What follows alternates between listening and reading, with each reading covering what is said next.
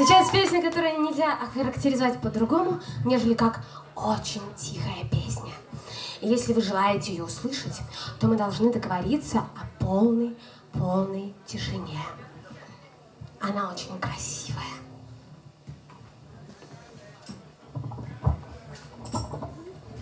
Добрый вечер.